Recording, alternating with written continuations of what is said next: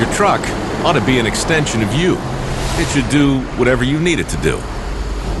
That's why our standard 3.7 liter V6 comes with twin, independent, variable cam timing, controlled by a processor that monitors driver input over 60 times a minute.